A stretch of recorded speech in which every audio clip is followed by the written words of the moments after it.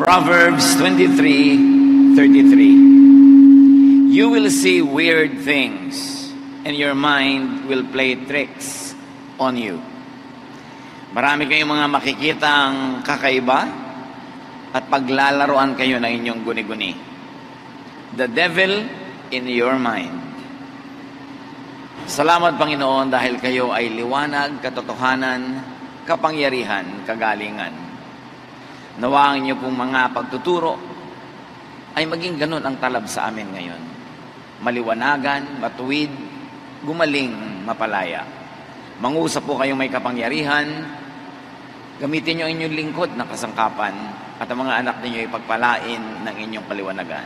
Father, we thank you. We seek your truth. We seek your power. In the name of Jesus, your Son, our Lord and Savior.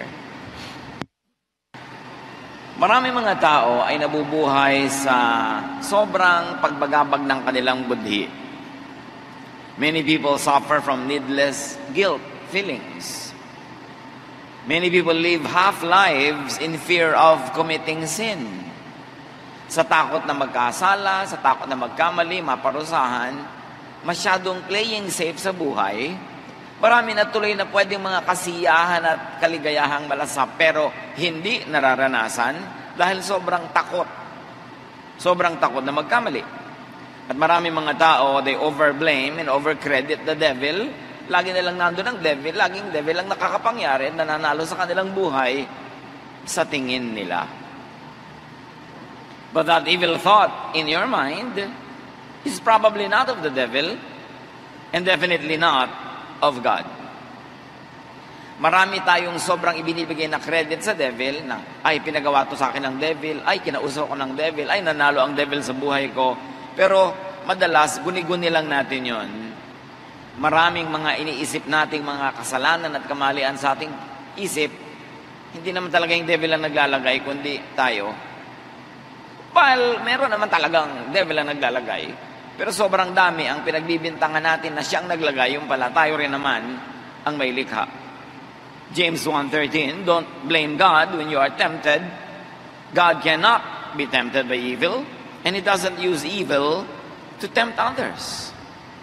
Hindi nanunukso ang Diyos, at hindi gumagamit ang Diyos ng masama para manukso ng tao. What you call evil thought in your mind is most likely your own thought. And when it is not really evil, but you still call it evil, you prob- it's probably your own judgment on your own thought. Sa aking karanasan sa counseling, kahit sa Facebook, kahit sa personal counseling, ang daming mga tao, pinoproblema, hindi naman dapat problemahin. Lagi tinatanong, kasalanan po ba ito? Kasalanan po ba yun? Nagkasala po ako. Pero kung susuriin mo, wala naman talagang kasalanan sa ginawa nila. Na buo na lang sa isip nila kung kani-kano nila namana, napulot, nakasalanan ng isang bagay na kung tutuusin, pag talagang pinag-aralan mo sa Biblia, hindi naman kasalanan. Nagiging kasalanan lang dahil binasa, ininterpret at inapply nung unang panahon ng mga generations of teachers and believers and religions na kasalanan. Pero pag bumalik ka sa basic teaching of God, pag binasa mo sa tamang konteksto, hindi iniwalay doon sa kapaligiran kung bakit itinuro yon, hindi naman talaga kasalanan. Ang dami-daming pagdurusa ng tao, lungkot, usig ng budhi, guilt, at yung iba nagpapakamatay pa, sa mga bagay na kung tutuusin, kung Diyos lamang ang tatanungin diretsahan, hindi naman kasalanan. Pinagmukha lang kasalanan ng mga peddlers, controllers, dispensers of religion. All throughout history and all civilizations, lalo dun sa mga salvation-centered religions, sobrang dinevelop ng mga religious teachers yung concept of sin and forgiveness. Tapos yung church ang merong hawak ng power to forgive. Ang forgiveness in the longest time in history ay nabibili, nababayaran. Kaya gusto-gusto ng religions na ang mga tao guilty. Kasi pag guilty sila, bayad sila ng bayad. Kaya dinevelop yung concept of confession to one another, especially to religious leaders. Because when there is sin, when there is guilt, you need confession, but confession is in the hands of the religious powers. Therefore, guilt empowers religion and disempowers people. May komersyo ang pagbibigay ng kapatawaran sa kasalanan.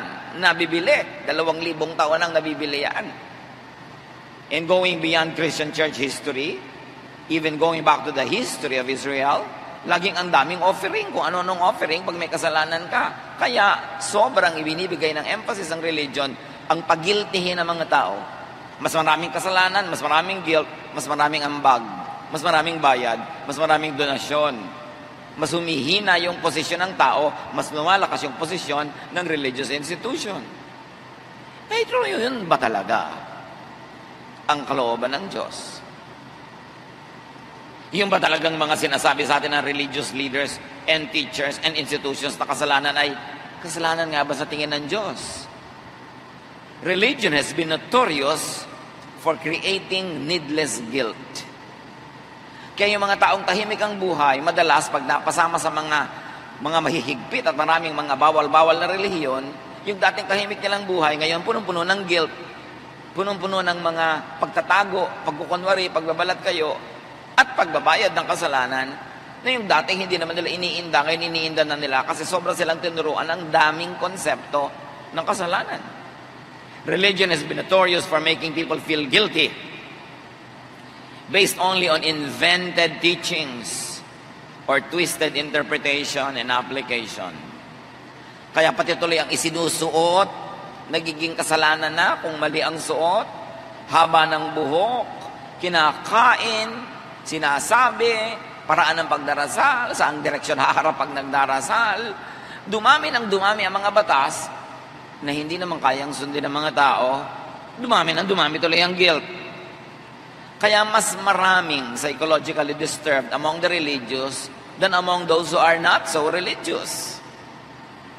Kasi ang mga sobrang religyoso, lalo't na expose sa very conservative and controlling teachings, Siyempre, sa dami ng mga batas, ang dami nila nabe-break, lagi tuloy silang guilty. Guilt needs forgiveness. Forgiveness is empowers the dispenser of the forgiveness. Therefore, guilt of people means power to religious institutions. Kaya galit na galit si Jesus sa mga bagay na yan. Sa napakarami mga bawal and do's and don'ts, na kumbaga, pinagbawal yon dahil alam na hindi mo masusunod. Therefore, pag hindi mo nasunod, magigilty ka. Pag nagilty ka, lalapit ka sa religious institution, bibili ka, hihingi ka, magmamakaawa ka ng forgiveness, it empowers the institution. At kitang-kita yun ni Jesus, kaya tinuligsan niya. Sabi ni Jesus sa Matthew 15, 7 to 9, And you are nothing but show-offs. Sinasabi niya ito sa mga religious leaders. Isaiah, the prophet, was right when he wrote, that God had said, All of you praise me with your words, but you never really think about me. It is useless for you to worship me when you teach rules made up by humans.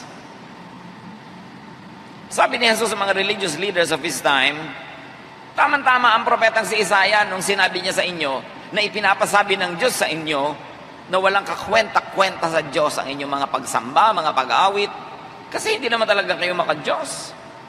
Bali, wala ang pagsamba nyo kung umiimbento naman kayo ng mga katuruan na gawa-gawa nyo lamang. Imagine.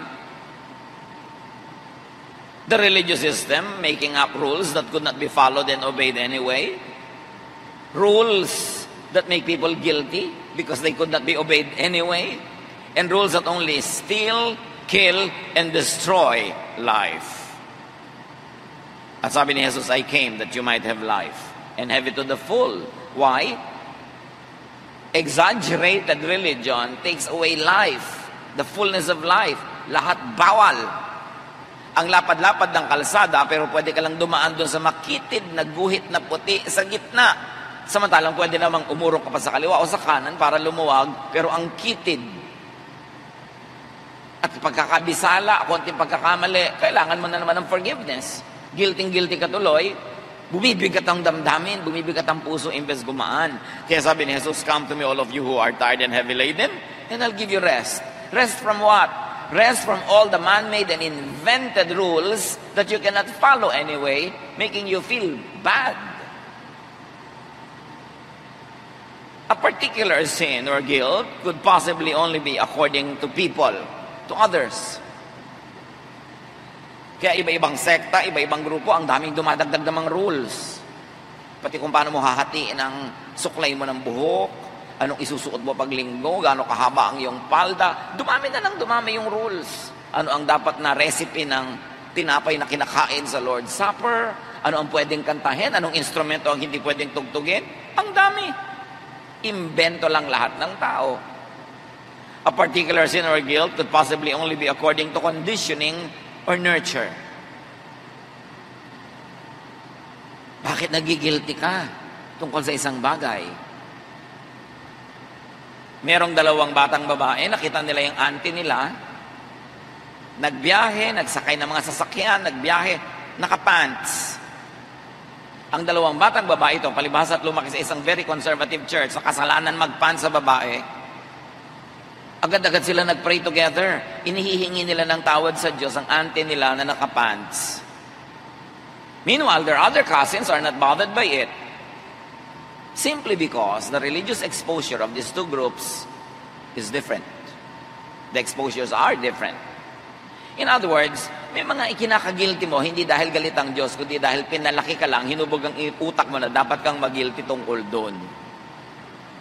Bakit may nagigilty pag kumain ng dinugan, merong hindi?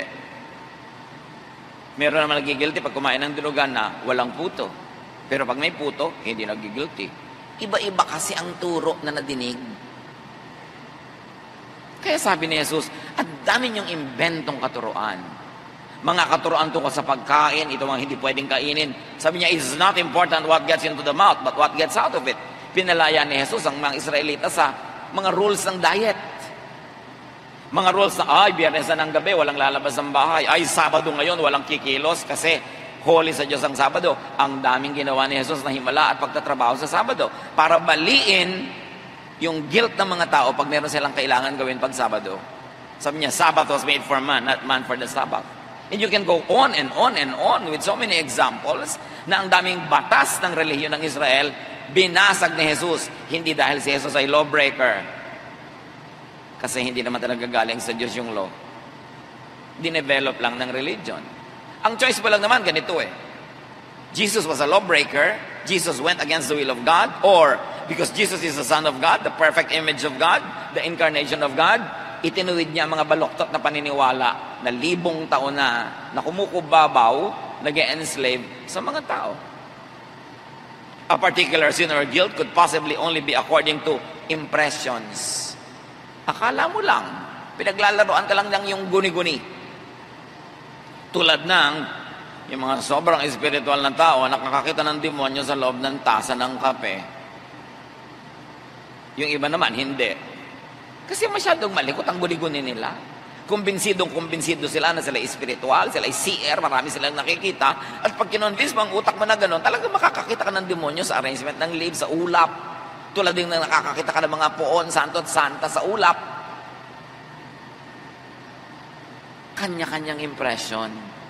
Kaya sabi sa Bible, your mind will play tricks on you. Psalm 51.3 I know about my sins and I cannot forget the burden of my guilt. Nakita nyo, burden, kakambar ng guilt. Because to be guilty is to be tortured. Therefore, it is hell in your heart. But sinfulness or guilt could only be a state of mind and not an actual judgment of and by God. Totoo, merong mangilang-ilang talagang kasalanan na hindi dapat gawin. Totoo yun. At pag ginawa, dapat magilty para magbago. Pero ang daming dagdag ng mga tao ng religion na hindi naman talaga kasalanan, pinagawa lang at pinagmukhang kasalanan, nagigilty tuloy yung mga tao at nahihirapan sa buhay. Dapat suriin at alamin kung alin ang alin. Alin ang dapat talagang seriously sundin at alin yung iba na, ay, invento lang yan ng tao, invento lang yan ng reliyon. Si Jesus nga, binasag yan. Si Jesus nga, hindi sinunod yan. Si Jesus nga, pinalaya ang mga tao dyan eh. Eh, bakit ako magpapaalipin uli? Sayang naman si Jesus. In fact, pati yung mga tinatawag ng mga tao na demonic possession, hindi naman lahat possession talaga eh. Some demonic possession, as people think they are, could be an issue of mental health or illness. It could only come from clinical depression or schizophrenia. Schizophrenia. Yes, may totoong demonic possession, pero baka 95% ng akala natin demonic possession, depression lang pala. May clinical explanation. Na nung araw, yung mga matatanda noong unang panahon, wala naman silang clinical explanation, kaya anything like that, demonyo agad ang dahilan. But now, we are gifted with knowledge, and the Lord has revealed so much of what we should know through science. Science could be God's last prophet. Marami na ituturo at napapaluwanag ang Diyos sa pamamagitan ng siyensya. At ang siyensya, hindi kalaban ng tunay na pananalig. Sa siyensya, nadidiscover lang natin how things work. But you know that it is God who created things and made things work. So nakikilala natin lalo ang Diyos sa pamamagitan ng siyensya, hindi dapat pagbanggain ang siyensya at pananalig sa tunay na Diyos, bagamat kung minsan ang siyensya at relihiyon, lalo't old-fashioned, ay magkabangga. Kasi maraming kadiliman ang isip ng old-fashioned religion dahil nung nilikha ang mga doktrina at mga teaching noon, ang mga tao, ay marami pang hindi alam. Tapos nagpapanggap silang Diyos ang may sabi sa kanila, but proven by time and proven by knowledge and discoveries, na yung mga paniniwala nila hindi based on fact, not based on science, not based on natural law, of which God is the author. Kaya mahalaga mulat ang isip. 1 Samuel 18.10 The next day the Lord let an evil spirit take control of Saul and he began acting like a crazy man inside his house. You see, evil spirit and crazy related in the same verse. Kasi marami talagang craziness, akala lang natin evil spirit, Akala nung nag-observe evil spirit, isusulat niya evil spirit kasi hindi pa niya alam na mayroong such a thing as depression and schizophrenia. Kaya even the terminologies used in ancient times should be reread now in the light of knowledge of science. Hindi masama ang science kasi Diyos ang may likha ng lahat ng natural law. At yung science naman, dinidiscover lang what is natural law gravity, force, velocity, quantum physics, the power of light. Lahat yan, Diyos ang may likha. Because everything on earth is the Lord's. All who live in it. Everything was created by God. So sinfulness, especially based on an enlightened teaching, could only be according to one's self-manufactured thought or belief or mind. It could only be according to one's conditioned thought, belief, mind. Bakit naman nung araw sa Old Testament, condition silang mag-isip na entitled ang mga lalaki magkaroon ng maraming asawa, lalo at sila ay mga patriarchs na entitled kahit si Abraham na anak ng kanyang katulong na babae, na uh, entitled si Jacob na magkaroon ng dalawang asawa, etc., etc. Bakit naman biglang sa New Testament, hindi na? Kasi naiiba yung culture, naiiba yung needs, naiiba yung politics, naiiba yung dynamics of family. Because these rules were crafted and developed as civilization developed. Hindi naman ko mo sinabi, 5,000 years ago na ganitong gawin mong pagluluto, ngayon, eh ganyan pa rin ang gagawin mo kasi nakondisyon na yung utak mo sa ganung uri ng pagluluto. Dapat nagre-react ka to ever-growing knowledge to your context, to your needs. Parang yung isang babae na pag nagluluto siya ng isang mahabang pata, leg ng baboy, e binabali niya. Kasi tinanong siya, bakit lagi mong binabali yung binibake mo na pata? Eh, ang laki-laki ng oven mo. Sabi naman niya, eh kasi yan ang kinaagis ng ko na ang nanay ko tuwing nagluluto siya ng pata, binabali niya. Yung pala naman, kaya binabali ng nanay niya, ang liit-liit ng oven nila nung araw, eh, hindi kasya. Eh, pero ngayon, laki-laki na ng oven niya, kasya kahit sumuot siya, kasama pa siya. Binabali pa rin niya kasi nakatali yung utak niya sa isang matandang pag-iisip na ngayon ay pwede nang ibahin kasi lumaki na yung oven niya. At ganun din sa maraming bagay sa ating buhay. Nakatali tayo sa mga matandang pag-iisip. Well, may mga matandang pag-iisip na hanggang yun effective and powerful. Pero maraming hindi na. Dapat mo nang baguhin. Hindi nagbabago ang Diyos, hindi nagbabago ang katotohanan, pero nagbabago yung realidad mo pang araw-araw kung papaano at kung saan gusto ng Diyos na ikaw ay lumaya, magkaroon ng buhay na masagana at masaya. Kaya sabi ni Lord, Come to me all of you who are tired and heavy laden, I'll give you rest. Pagod na pagod na kayo sa pagsunod sa mga kaugaliang hindi na bagay sa inyong panahon. Condition, nurtured by social mores, religion, and legal structures, many minds are really not free. And because iba-ibang conditioning, kaya iba-ibang kabihasnan, iba-ibang community, iba-ibang lipunan, iba-iba rin ang kinakagilty. Iba-iba kasi ang kultura. So it is possible that you only think and you believe that you sin, but actually you are not sinning. Bago naman tayo agad-agad biglang gawin lahat ang akala natin bawal, suriin muna kasi meron talagang hanggang ngayon hindi dapat gawin. Pero konti na lang yun, pinakonti na ngayon ni Jesus eh. Remember, Israel had 10 commandments and 610 other commandments called mitzvots. Pwede bang dumaan na maghapon na hindi mo ma-break yung isa man lang sa 610? Eh sabi sa Bible, when you obey one and not obey the others, when you obey all and not obey only one commandment, it's as good as not obey yung all. So guilty ka araw-araw. Kaya pinagaan ni Jesus ang buhay, konting-konti na lang ang itinara niyang bawal. Tapos marami mga Kristiyano ngayon, lagi ang isip, bawal yan, bawal yan. Bawal po ba to? Bawal po ba to? Ang laman lagi ng utak nila kung ano yung bawal. Kasi, ganun ang korte ng utak nila, kahit panganak kay Jesus na, hindi pa lubos na nauunawa ang ginawa ni Jesus sa law at sa mga tao. Sometimes you consider yourself sinful when you break your own belief and thought, when you break what you believe in. But the question is, is what you believe in really what God wants you to believe in? Or is it there in your mind only because somebody placed it there? Not necessarily God, though sometimes in the name of religion. So may mga guilt na ikaw lang ang may gawa o inilagay lang ng tao sa iyo. Tulad ng may mga babaeng pinalaki ng lola at nanay nila na kailangan babae ka, lagi ka nagsasakripisyo, lagi ikaw ang huling-huling matulog, lagi ikaw ang pinakamaagang gumising, lapat lahat, ganyan, ganyan, ganyan, ganyan. Kaya tuloy pag hindi mo nagagawa ngayon na ikaw na ang nanay, ikaw na ang asawa, guilty-guilty ka kasi pinalaki ka ng lola mo na dapat ang babae ay super, super masakripisyo. Eh, ang dinuno, sinasabi pala ng lola mo noon, yung siya at yung nanay mo na hindi naman sila empleyado noon, nasa bahay maghapon. Pero ikaw, empleyado na rin, katulad na rin ng husband mo. Pareho lang kayong umaalis, nagtatrabaho, bumabalik na pagod.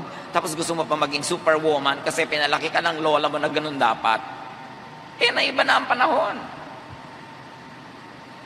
Kaya dapat ang tao, tinitingnan, ano bang sasabihin ni Kristo tungkol sa case na to? Dapat ko bang i-guilty to? Dapat ko bang ikagiltin ang binibili ko na lang na damit, wash and wear, hindi ko na pinaplansya, ikinukula, ina-almirol? Eh kasi nagtatrabaho din ako eh sa labas ng bahay. Wala na akong masyadong maraming oras. Pwede ko ba talagang isigang na lang yung bangos, ihulog ko doon sa sabaw at kumulo siya o kailangan ko pa talaga siyang durugin, tanggalan ng tini, lagyan ng sahog, igisa, at ibalik doon sa balat ng bangos, tahiin, at iprito para relyeno ang bangos. Kasi ako dapat yung perfect mother. Maraming kinakagilty na hindi dapat. Therefore, to not sin, or to not seem to be sinning, to be sinless, at least in your own mind, do not have invented rules. Minimize rules. Kahit sa isang tahanan, to minimize sobrang guilt, minimize rules. May mga bahay na lahat dapat at home, 7 o'clock, magdi-dinner sabay-sabay. With the traffic in our city now, can you do that? Dapat lahat nasa family lunches pag Sunday. Pero may mga times talagang you don't feel good. May mga times may mga company outing. Pero guilty-guilty ka kasi dapat. Ang daming dapat. Dapat ganito, dapat ganon. Marami tayong ini-invent the rules. Na yes, may konting pakinabang, pero pag ikinompare mo sa maraming at malaking ibinabayad, nagiging pampabigat ng buhay. May mga hindi pwedeng magdamit ng hindi planchado, may konting lukot. Understandable lang ngayon yan, yung medyo lukot-lukot, yung parang hinulo, parang nilamutak. Kasi busy ang tao. Hindi na katulad nung araw that you had all the time in the world na maging perfect planchadora. May mga bagay na pinapalampas na lang para lumuwag ang buhay. Do not subject yourself to needless rules. E pag napasali ka sa grupo, lalo sa isang relihiyon na ang daming bawal, araw-araw, tad-tad ng guilt ang buhay mo. Imbes gumaan, bumikat. and change the rules that are only man-made. So examine the rules if they are really from God. And to be free, change your attitude and mind about the rules. Pinag-uusapan natin mga rules dito, yung gawa lang ng tao, hindi talaga galing sa Diyos. O yung akala ng iba galing sa Diyos, pero inimbento lang pala ng mga religious leaders. Kaya importanteng manuri. And it's always more liberating if you have the choice to be liberal than conservative. Mas marami kang luwag kung hindi ka masyadong conservative. Romans 7.7, anong sabi ni Paul? If it had not been for the law, I would not have known what sin is really like. Sabi niya, eh kung hindi lang naman may law, eh di hindi ako sinful. Kaya lang naman ako nagiging sinful kasi may law na hindi ko naman masunod. For example, sabi niya, I would not have known what it means to want something that belongs to someone else unless the law had told me not to do this. Sabi niya, kaya ako maraming guilt dahil sa law. Dahil maraming bawal. Eh kung hindi naman bawal at hindi ko alam na bawal yan, eh di hindi ako guilty. So the more law that you know in your mind, the more guilty you become. Sabi ni Paul. Meanwhile, sabi naman ni Jesus, Matthew 5.17, Do not think that I have come to abolish the law or the prophets. I have not come to abolish them, but to fulfill them. So magdadalawang loob ka. Ano? So yung law, tuloy pa rin. Kasi hindi daw inabolish ni Jesus. Pero, finulfill niya. Anong ibig sabihin nun? That Jesus took upon Himself the sins of the world lahat ng ipinaparatang, ibinibintang, ibinubunto ng law na kasalanan ng tao, inako ni Jesus at binayaran niya ng kanyang buhay, therefore bayad na. Jesus received all the punishment prescribed by the law, thus fulfilling them. Kaya si Jesus ay nabato, nadura, nabugbog, napako, namatay, hinampas, lahat na. Therefore, bayad. Isaiah 53.5 referring to Jesus, as many Christian scholars would say, but he was pierced for our transgressions. He was crushed for our iniquities. The punishment that brought us peace was on him, and by his wounds we are healed. Therefore, lahat ng kasalanan ng humanidad, ng sangkatauhan, in the past, in the present, and in the future, bayad na ni Jesus, who is the Son of God, whose sacrifice is timeless, good for the past, the present, and the future, because in, as far as the divine is concerned, there is no past, present, or future. Everything is an ongoing present. So yung ginawa ni Jesus 2,000 years ago is still effective now and it will be effective forever because He is the Son of God. And yet, marami mga tao, kristyano na, pasan pa nila yung krus na kinuha na nga ni Jesus iniligtas na ni Jesus, nagbabato pa sa sarili, nagpapabato sa kapwa, at nambabato ng kapwa, eh hindi na nga ipinabato ni Jesus yung babae caught in an act that was considered sinful. Parang walang Jesus, parang walang Savior, parang walang krus, parang walang resurrection. Samantalang sinabi, when Jesus died and resurrected, He completed once for all the payment for all sin. Real sin or imagined sin, all paid for. Romans 3.22, God treats everyone alike.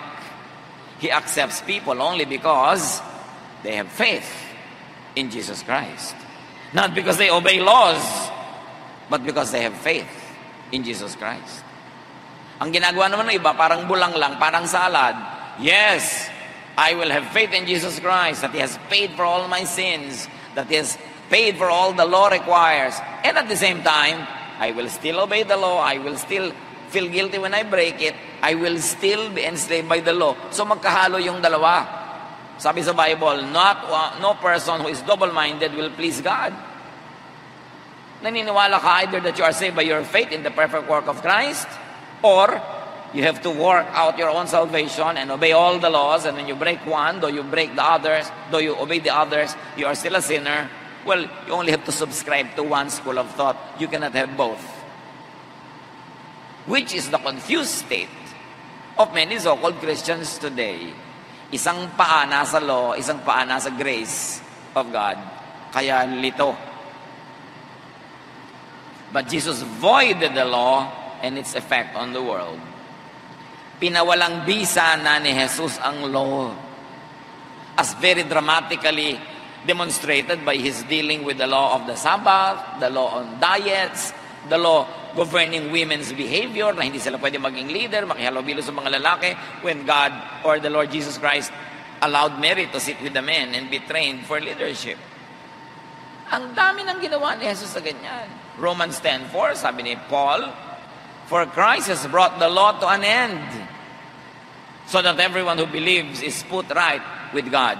So how are you put right with God? By obeying the law? No, by believing in Jesus. Believing in Jesus is equal to or greater than obeying all the laws. That's why Paul is very clear that it is by grace, not by works, that we are saved. And besides, if you will insist on obeying the law, you will never pass. You will always fail. People are made right not because of their passing grade, which no one can make, but because grading was altogether abolished by Jesus. In other words, pumasa ang buong section, hindi dahil lahat matataas ang grade, kundi dahil inalis ni Jesus ang grading system. Hindi automatic, pasado ang lahat. Sabi sa James 2, when you break one of the laws, you break all. James 2.10. At sabi sa Romans 3.10, no one is righteous, not even one. So how can you insist on being guilt-free by obeying the law when no one can be righteous? Because when you break one law, though you obey the others, you are considered as a lawbreaker anyway. Kaya ang solusyon ni Jesus, wala na lang grade, edi pasado lahat ako na lang ang kukuha ng exam for everybody by proxy. Hindi pasado lahat. Tapos ikaw ngayon, pinipilit mo pang bumalik doon sa examination room. Ibabagsak mo din lang naman. Tapos guilty-guilty kapag bumabagsak ka. Parang wala kang Jesus, parang wala kang Savior. Galatians 3, 24 to 25. And so the law was in charge of us until Christ came. In order that we might then be put right with God through faith. Yun lang, yun daw law, may effect lang hanggang dumating si Jesus.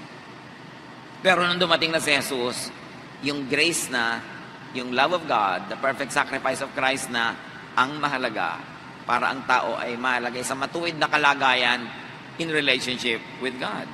Verse 25, Now that the time for faith is here, the law is no longer in charge of us. Pagkatapos, tanong kailan tanong, pwede ba akong kumain ng dinugan? Pwede ba akong may gawin pag sa sabat? Pwede ba akong ganito? Pwede ba akong mag-pants? Pwede ba akong... Puro law yan eh. Bakit nandiyan pa ang utak ng tao? Eh sinabi na nga, the law is no longer in charge of us. Isa na lang law ang natira. Yung ginawa ni Jesus. Love one another. So bawal po bang mang-agaw ng asawa ng may asawa kasi wala na palang law? Eh, loving ba yon? Oo, love na love ko po yung lalaki. Eh, yung asawa niyang babae, love mo ba pag inago mo yung husband niya? Eh, hindi po. Eh, therefore, bawal pa rin agawin yan kasi hindi loving. Eh, pero, pwede ko na po bang paiksi ng buhok ko, kababae kong tao? Pag ba pinaiksi mo yung buhok mo, you hate others? May napapahamak ba? May napapasama? Wala po. Eh, di pwede. Eh, pwede ko bubang kalbuhin yung kapwa ko dahil naiinis ako sa buhok niya. Ang ganda-ganda. Loving ba yun na kumalbo ka ng kapwa?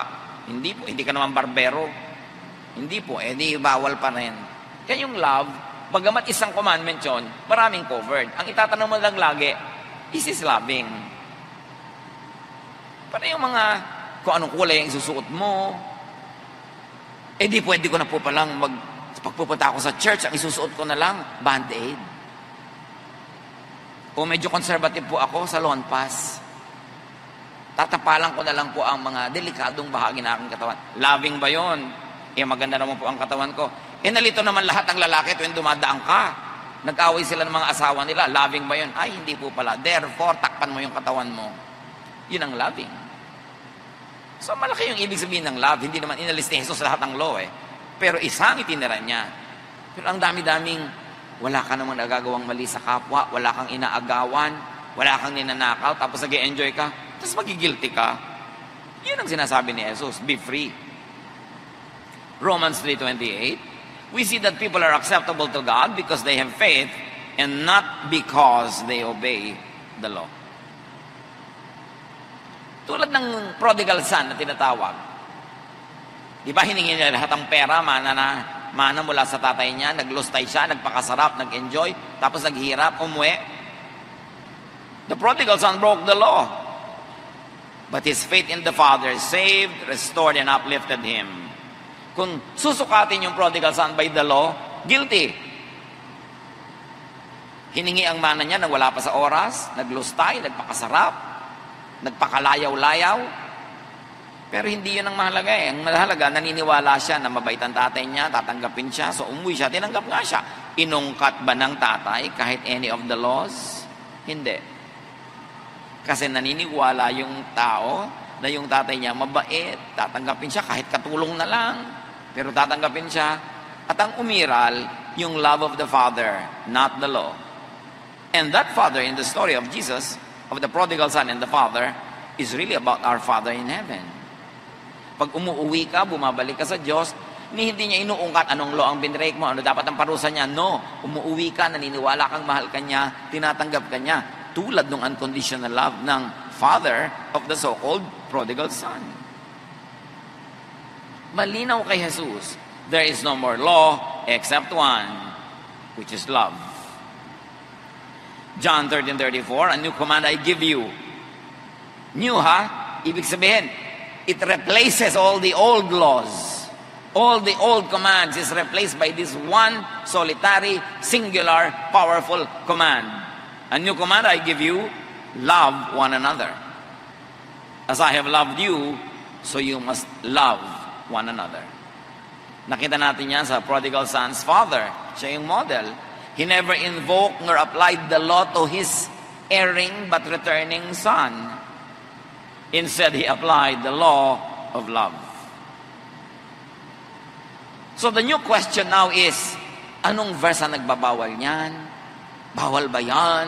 Ang question now is, is it loving? Versus, is it lawful, religious, or legal? No, that's already outmoded. The question now is, is it loving? And if it's not loving, it doesn't mean you cannot do it. You have to ask a second question Is it hateful of others? Will it hurt others? No. Therefore, you can do it. Because the believer, the Christian believer, is free to do anything that Jesus does not prohibit.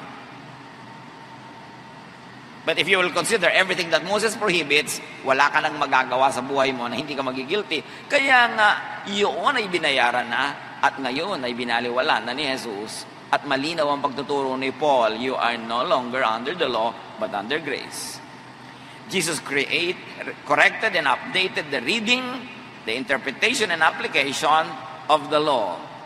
Marami siyang ginawa, kaya sila sabi niya, you have heard this idea, but I'm telling you, it's not that. It is this idea. You have heard that it was said, but I'm telling you, it's like this. Marami siyang itinuwid. At pag hindi mo itinuwid ang pananaw mo, sayang si Jesus para namang wala siyang ginawa. Jesus set people free from the law, therefore making people sinless. Not because people are morally perfect, but because Jesus voided the law that makes them Guilty. Dati nakalagay no parking, nagpa-park ka, edi masama ka. Ngayon, nakapark ka pa rin, hindi ka na masama kasi tinanggal yung no parking sign, hindi na bawal. Alin ang mga hindi na bawal at alin ang totoo ay bawal pa, yun ang suriin. Kasi meron talagang bawal pa. That which is not loving. Loving to you and loving to other people. Loving of you, loving of others. Kaya dapat, yun na ang umiiral sa ating pag-iisip. Loving ba itong gagawin ko or not? Galatians 4, 4 to 5. God sent His Son. His Son obeyed the law so He could set us free from the law. And so we could become God's children. So now to become a child of God is not to obey all the rules, but to believe in Jesus. Parang to obey all the rules, aakyat ka ng bangin, lalaglag ka ng laglag, hindi ka makarating sa ibabaw. Ito ngayon si Jesus, elevator, sumakay ka na lang. Kaya grace, undeserved kindness. Romans 8.2, For the law of the Spirit of life in Christ Jesus has set you free from the law of sin and death. Kasi pag yung old-fashioned law ang pinairal mo sa buhay mo, puro sin yan, therefore puro death. But Jesus is life. Jesus is forgiveness. Jesus is the way to become a child of God. People are no longer under the law. Yet so many people always invoke and refer to verses and laws. Kung gusto mo ng verse, ang invoke mo na lang John 13:34 na sinabi ni Jesus, love one another. This is the new command. This is the new law. Romans 3:21 Now we see how God does make us acceptable to Him. The law and the prophets tell how we become acceptable, and it isn't by obeying the law of Moses. So hindi ka dyan maliligtas. And if there is no law, then there is no concept of sin, then you are not a sinner. Then you should not be guilty. Romans 3.20, all the law does is to point out our sin. So, ang ginagawa naman ng law, para lang idikdik sa mukha natin na makasalanan tayo eh. So, why focus on the law? Why focus on sin? At sabi pa ng Romans 4.15, where there isn't a law, it cannot be broken. E di kung walang batas, walang lawbreaker. Romans 7.8, but without the law, sin is dead. Kaya, ang mga nananalig kay Jesus ay may buhay na walang hanggan. Hindi dahil perfect ang pagsunod nila sa law, kasi tinanggal sila under the law and they were placed under grace. Therefore, there is no law to break. They are not lawbreakers. There is no sin to commit without the law. Therefore, they are not sinners. Therefore, they are holy. Kaya mga tawag sa anak ng Diyos ay holy. Not because you are perfectly moral or morally perfect, but because the laws had been suspended and voided for your benefit. Yun ang deep theology of the life, ministry, death, and resurrection of Jesus. Romans 8, 1 to 2, Therefore, there is no, now, no condemnation for those who are in Christ Jesus. Because through Jesus Christ, the law of the Spirit, who gives life, has set you free from the law of sin and death. Ang na kay Jesus daw, hindi na uusigin. Wala nang hatulan. Pagharap mo sa Panginoon in that final last day, hindi na dahil masisave ka or not, kundi awarding ceremony na lang kung gaano karaming award ang tatanggapin mo. Pero hindi na para piliin pa kung ikaw ipaparusahan or not. Nya, there is no more condemnation for those who are in Christ Jesus. Hindi ka nadadaan sa paglilitis kasi si Jesus dumana sa paglilitis. Hindi ka napaparusahan kasi siya na ang tumanggap ng parusa. Hindi ka na mamamatay kasi siya ang namatay at nabuhay na muli para sa iyo. Kaya meron tayong Savior. Behave as if and because you have a Savior. Tigilan na ang sobrang obsession with law, with sin, with guilt, and judgment of yourself and others. Be free. Sabi ni Lord, come and rest. I want you to have life. Peaceful, restful. Pero pag lagi kang guilty, lagi kang naghaharap ng kasalanan mo at kasalanan ng iba, anong klaseng peace yun? Hindi yun magiging peace. Kaya sabi sa Romans 6.14, Don't let sin keep ruling your lives. Huwag laging sin ang laman ng utak, sin mo, sin ng iba, batuhan kayo ng batuhan kasi sin ang issue. You are ruled by God's kindness and not by the law. So why don't you be kind to others? Nakikita mo, nakakasala yung iba according to the law, babatuhin mo according to the law, eh hindi ka na nga under the law. Why don't you be kind instead? Sa halip na maging legalistic, judgmental, and self-righteous. Sabi ganon, tigilan nyo na ang issue ng sin. Lampas na kayo doon. Mag-master kayo, mag-PhD kayo, magpakadalubhasa kayo sa kindness. Hindi sa judgment. So do not be fixated on sin. Do not be oppressed by the issue of sin. Do not throw the law, do not throw verses, do not throw stones that condemn others and yourself. Instead, love one another, just as God loved us through Jesus. Galatians 5 4 Those of you who try to be put right with God by obeying the law have cut yourselves off from Christ. You are outside God's grace. Ang mga pilit pa rin nagsisikap to earn merits, to judge themselves and others by obeying the law, pinuputol nyo ang relasyon nyo kay Jesus. Nagiging outsider kayo sa grasya ng Diyos kasi hindi kayo umaasa sa grasya, dumedepende na naman kayo sa works, sa performance, sa pagpasa sa exam. So doble ang disadvantage when you flee to the law, when you invoke the law, when you position yourself under the law. One, you will fail because you cannot pass it. Number two, you cut your relationship with Jesus. Because your relationship with Jesus is premised on one condition, contract, provision. That you believe that the work of Jesus is enough to save you from all that you do have done and cannot do. Therefore, you are saved not because of your performance, not because you obey the law, but because of Jesus. Then you are, and you belong to Jesus. But if you insist on the law, you go back to the law, you disregard the work of Christ, you cut your relationship with Jesus. At bahala ka sa buhay mo. Sige, magpaka-perfect ka. Sundin mo lahat. Total, ipinipilit mo.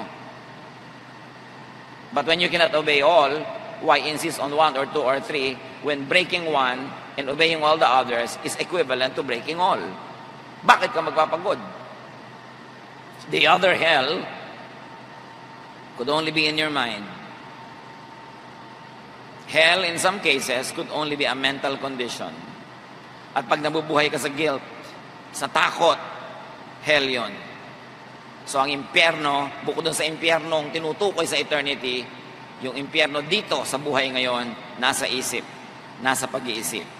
Nababalisa ka, nagugulumihanan, natatakot kasi nakasaksak sa loob ng utak mo ang law.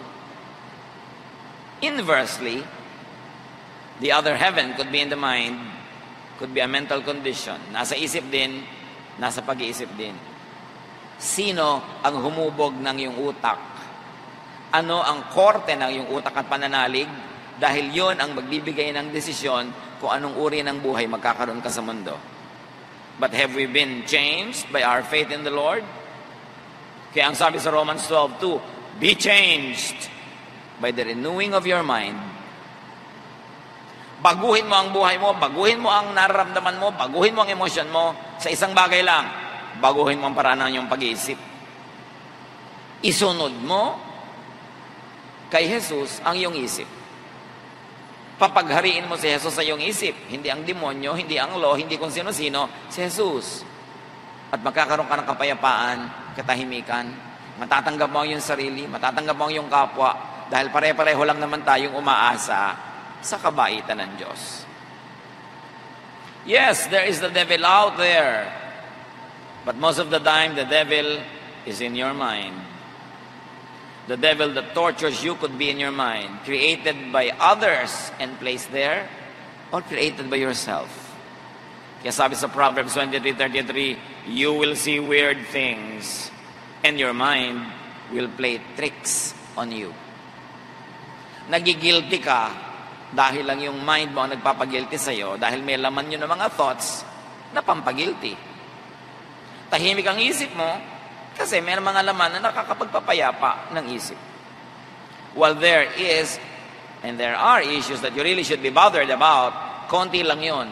Ang higit na nakararami, imbento lang natin o imbento ng kapwa. Even many visions and dreams and so-called revelations and other fears could only be in the mind. Created by conditioning, by auto-suggestion, or by obsession. Kaya yung mga obsessed na obsessed sa end times, laging napapanaginipan ng end times. At paggising, kinausap ako ng Diyos. Sinabi sa akin ng Diyos, yung pala guni-guni lang niya yun. Kasi kung ano iniisip mo, ano yung nasa guni-guni mo, kinakatakutan mo, o gustong-gusto mo, laging papasok sa utak mo yon lalo pagka you are not in control of your mind when you are sleeping. Kaya hindi lahat ng panaginip ibigay ng Diyos. Kasi kadalasan, kung anong iniisip mo, yun ang mapapaginipan mo. So, ikaw din ang manufacturer ng dream. Kasi may vision ka. Meron ka na naman ganito, merong ganon. Meron palang vision na ibinibigay ang Diyos para gawin natin ang isang bagay. Ba't hindi ibinibigay sa aming lahat? Ba't sa'yo lang? O ikaw lang ang may makating guni-guni? Dapat natin suriin ang ganito mga bagay. Bagamat, meron pa rin mga totoong visions. Totoong mga dreams from God.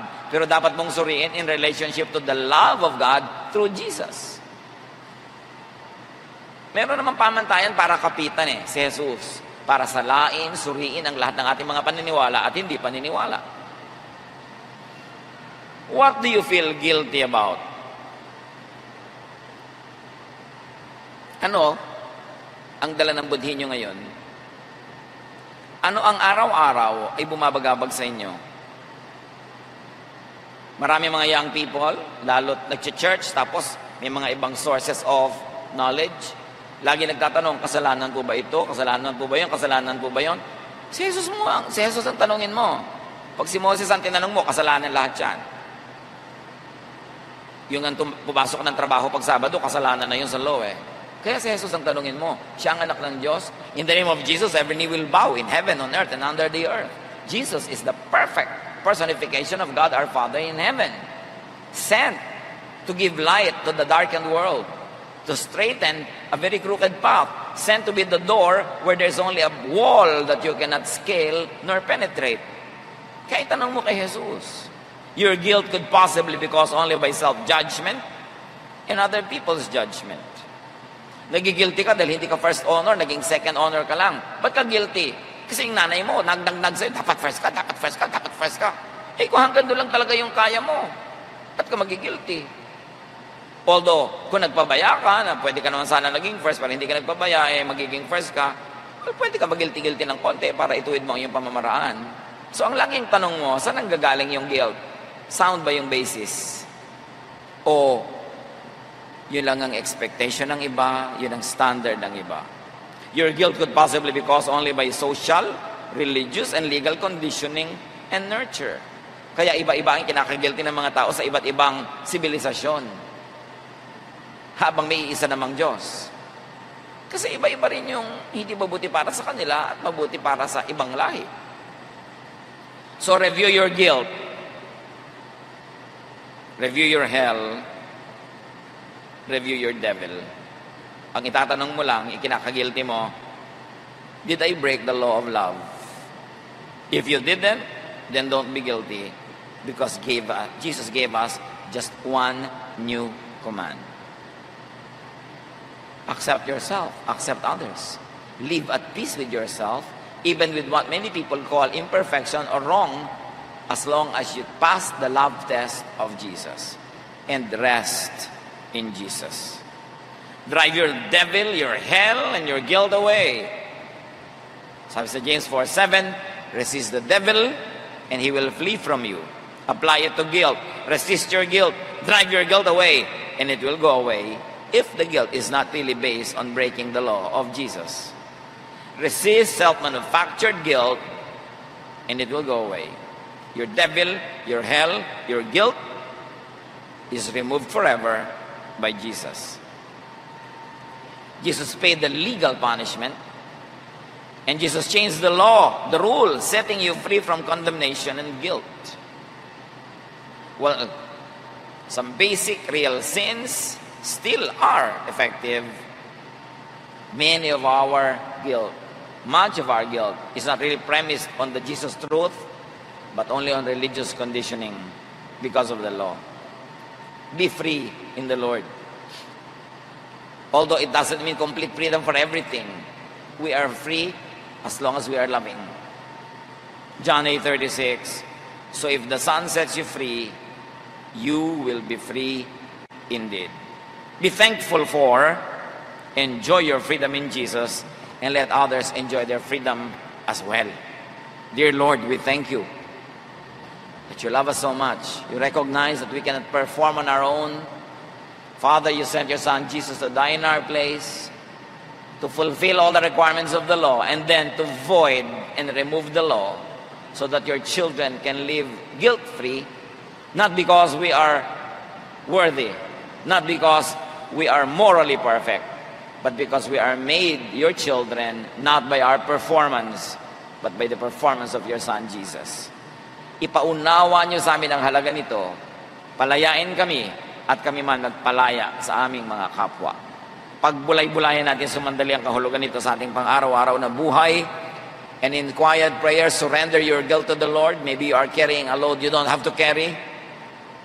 Sabi ni Lord, come to me and I'll give you rest. Find rest in Jesus. Lord, as your people remain silent for a while, continue teaching us. Let your voice be heard by everyone, in particular, in the basis and in the context of each one's personal life. Spend some time with the Lord.